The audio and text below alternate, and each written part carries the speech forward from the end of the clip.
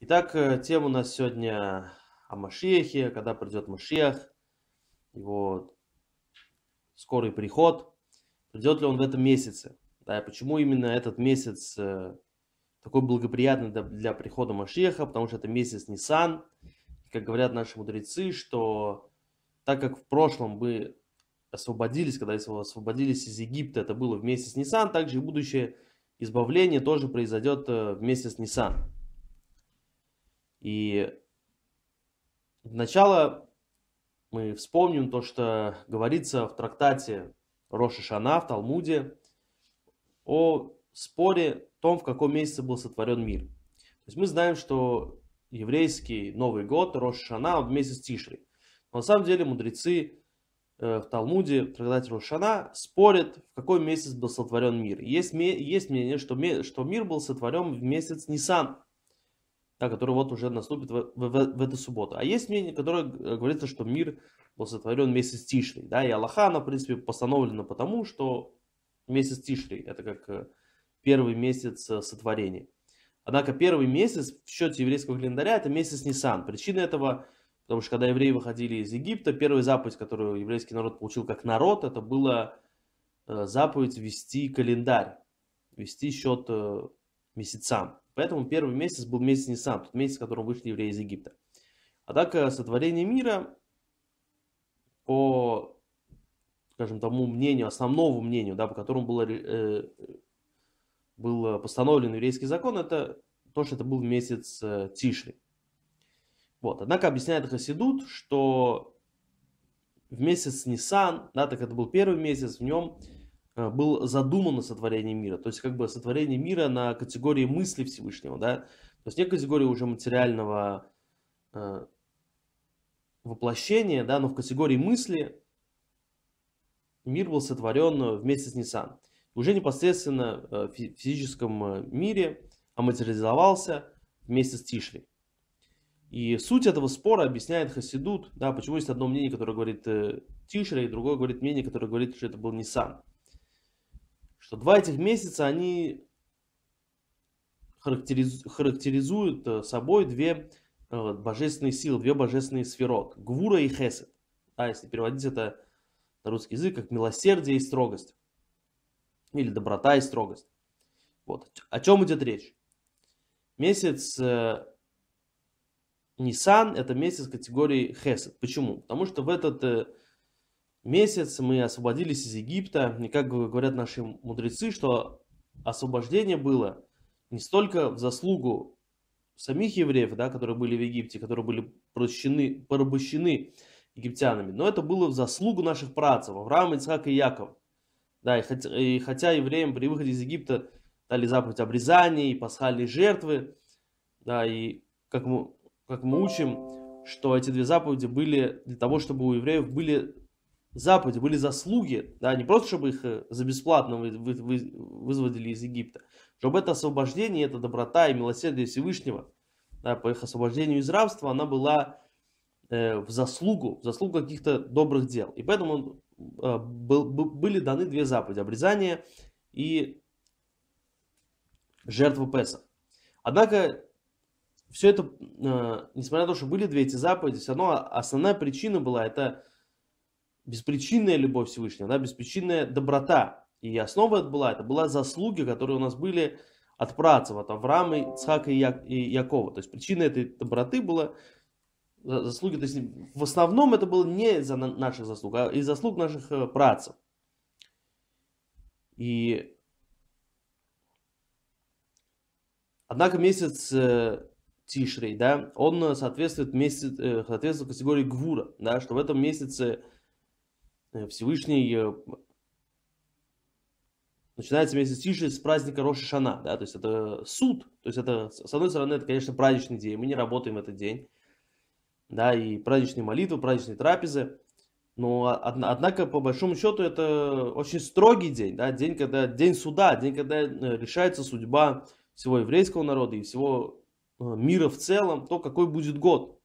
Вот, и поэтому этот день нужно провести в максимальной строгости, в максимальном э, самоконтроле, да, никакого пустого веселья. То есть это категория гвура. И возвращаясь опять же к празднику, к месяцу Нисан, так как это категория Хесед, то есть это доброта, беспричинная э, любовь э, Всевышнего. То есть это как бы характеризует пробуждение Всевышнего, да, без того, чтобы мы пробуждались. То есть это пробуждение Всевышнего, чтобы подтолкнуть нас к поднятию. И а месяц э, Тишрей – это движение снизу вверх. Да, то есть это движение нас. И поэтому это категория Гвура. То есть э, это про праздник э, Рошана, суд и тем более праздник Йом-Кипур, когда запечатывается уже печать, как, какой будет год. Все это согласно нашим заслугам. Не причину каких-то заслуг наших працев или без причины любви Всевышнего, но каждый получает ровно столько, сколько он э, заслужит и столько, сколько ему э, положено. поэтому это соответствует э, категории гвура и стремление, наш, наше стремление ко Всевышнему снизу вверх. Не просто доброты Всевышнего, как это вместе с Нисан, так это проявление доброты вызвали из Египта, и такие большие чудеса, и расступление Красного моря, так что это движение как бы сверху вниз, да, то есть это Э, подарок, который дает э, Всевышний авансом, да, без нашего достаточного приложения силы, без наших достаточных усилий. Но это аванс для того, чтобы в будущем мы э, достигли ступени праведников сами. И понимая разницу между двумя этими месяцами и сути спора о сотворении мира, да, то есть мы перейдем к спору о том, в какой месяц будет избавление. Да, то есть в Талмуде, в том же трактате Рошана есть спор не только о том, в какой месяц был сотворен мир, но также спор и в какой месяц будет э, избавление. И те же самые мудрецы говорят и предлагают те, те же варианты, как и о сотворении мира. Да, то есть есть одно мнение, которое говорит, что будущее избавление будет месяц Нисан. Да, подобно тому, как было избавление первого месяца Нисан, и будущее избавление будет тоже вместе с Ниссаном. Другое, э, другое мнение говорит, что наше избавление будет э, вместе с Тишрой. И согласно тому, что мы э, говорили, что, что, что Ниссан это движение сверху вниз, это э, доброта Всевышнего, не основана на наших заслугах. Да, а месяц Тишры это движение снизу вверх, то есть это по, по нашим заслугам. Поэтому и спор о том, в какой месяц будет избавление, тесно связан с двумя Э, мнениями, двумя вариантами, скажем так, как Машех придет. Да? То есть это даже не, неправильно сказать мнение, это есть, учат нас мудрецы, что есть э, два варианта, как придет Машех. Да? То есть есть вариант, что это он придет э, строго за счет наших заслуг. Да, и когда закончится вся, вся, вся работа, и мы достигнем полного исправления мира, то и придет Машех. Однако есть такой вариант, что мы, к сожалению, не дай бог, э, не сможем завершить всю работу, не сможем поднять все иски святости. Но когда будет достигнут определенный срок, определенное время, то будущее избавление наступит э, само собой. То есть получается два этих мнения заключаются в том, что если мы будем, если мы заслужим, да, если мы сделаем всю нашу работу, то избавление придет раньше, чем должно быть. Если мы не сможем достаточно делать, провести достаточную работу, то все равно будущее избавление наступит, но наступит в определенный срок, назначенное время, на которое определил это Всевышний. И поэтому два этих варианта прихода Машеха можно а, нанести на этот спор. Да, что то мнение, которое говорит, что Машех придет э, вместе с Тишей, да, что это что месяц Тишрей соответствует нашему служению снизу вверх. Все согласно заслугам. Это согласно тому мнению, что, эм, что мы успеем завершить всю нашу работу, что, что избавление наступит раньше, чем предписанный ему срок. Но в тот момент, когда мы закончим все, все служение с нашей стороны. А то мнение, которое говорит, что избавление будет в месяц э, Нисан. Это то мнение, которое опирается на тот вариант, в котором мы, к сожалению, не успеем сделать всю работу с нашей стороны, но Машех все равно придет. То есть то, точно так же, как месяц Нисан, он характеризует доброту и милосердие Всевышнего, даже без достаточного приложения усилия с нашей стороны, также и будущее избавление, хоть мы, не дай бог, не закончим все, всю возложенную на нас э, за задачу и миссию, то все равно Машиях придет э, в назначенное для этого время вместе с Нисан. Вот. Однако э, сразу хочу сказать и отметить очень важную вещь, что Машиах придет в любом случае, и эти два месяца не обязательно, что да, в месяц Тишри, в месяц э, ТВ, и в, и в Тамус, да, мы и в Ав, и в все другие месяцы, каждый день мы должны ждать э, прихода Машеха.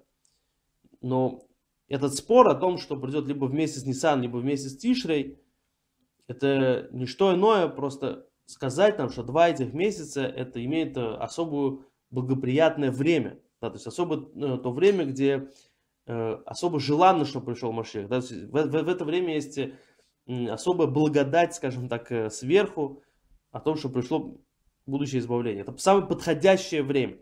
Вот, это не значит, что когда закончится э, месяц Нисан, мы должны знать до, до Тишера и говорить, что там, не дай бог, избавление не придет. Нет, но самое благодатное время это месяц Нисан и месяц э, Тишрей, по тем причинам, тем мнениям, которые мы объяснили. Однако э, понятно, что Машеха ждем мы э, постоянно и в любое время.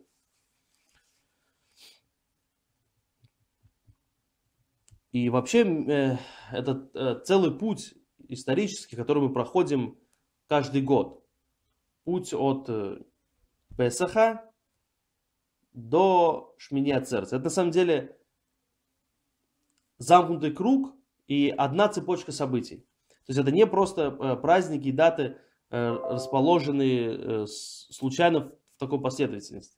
Также у нас есть праздник Песах, потом через 50 дней праздник э, Шивот, дарование Торы, потом 17 Тамуза, разбиение первых скрижалей, когда сделали золотого тельца, потом 9 Ава, это разрушение храма, и потом у нас есть Роша Шана, Йом-Кипур, Сукот и Шминя Церц. Да? В чем это как бы путь? Что месяц Нисан это месяц праведников, да, то есть это раскрытие Всевышнего, Всевышний нас э, поднял до такого уровня, до уровня праведников, да, но у нас зло еще осталось внутри нас, оно не было исправлено, то есть нас подняли, да, как говорили месяц Нисан, что это любовь Всевышнего без границ и не основанная на наших заслугах, да, то есть нас подняли на уровне праведников без того, чтобы на самом деле стали праведниками. Вот, и потом было дарование Торы, да, что это максимальная пиковая точка, которую мы достигли. Но потом, так как э, нас осталось э, это зло, которое еще тянулось с Египта, вот, поэтому мы сделали, к сожалению, золотого тельца, и было разбиение первых скрижалей. Вот, потом 9 ава, да, что это максимальное так, падение, было в этот день разрушение храма. Вот. Однако а, после этого начинается подъем, да, что хронологически в это время как раз Моше Рабейну поднимается получать вторые скрижали, да, и 40 дней, начиная с Рошходыш месяц Элул, да, с новомесячный месяц Элул до праздника Йом-Кипур, Моше э, Рабейну находится 40 дней, у Всевышнего получает э, вторые скрижали.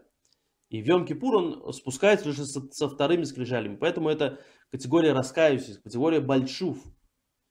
И потом праздник Суккот и Шминя Церес. То есть Суккот это уже, когда мы радуемся, что мы уже э, достигли снова э, связи со Всевышним, которая была потеряна. Да? То есть у нас был взлет, выход из Египта, дарование Торы, потом было падение, это грех золотого тельца, разбиение первых скрижалей, и потом снова взлет но уже в, в очищенном состоянии, да, когда мы сделали всю, всю, всю работу с нашей стороны, да, все наши исправления, которые мы достигли вместе с Элул, вместе с Тишрей, уже исправились, после того, как мы упали с грехом Золотого Тельца, мы уже исправились, когда уже получили вторые скрижали, уже были на высоте, но были на, на, на высоком духовном уровне, не просто были на этом уровне, но были уже на этом уровне своими заслугами, своими действиями, своими достижениями. Вот, и поэтому это тоже соответствует э, месяцу Тишрей, месяцу Нисан,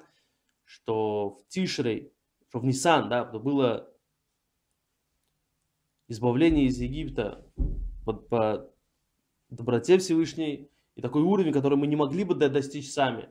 А в Тише это было, это работа с нашей стороны, да, снизу вверх. И это категория Баалей Шива, категория раскающаяся. Да? И как говорят наши мудрецы, что там, где стоит раскающийся, э, никакой праведник не может устоять. Да? Потому что раскаявшийся, тот, кто раскаялся на самом деле, он достигает еще э, большего уровня, чем даже совершенный